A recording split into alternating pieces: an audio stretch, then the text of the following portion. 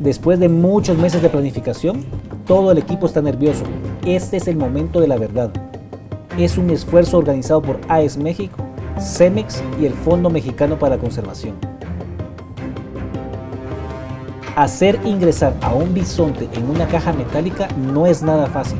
Ahora imagínense meter a 19.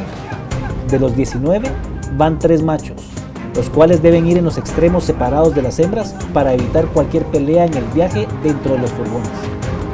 Con los banderines se hace bulla para movilizar a los bisontes y evitar cualquier tipo de violencia, ya que deben viajar lo más relajado posible para evitar cualquier problema o incluso la muerte.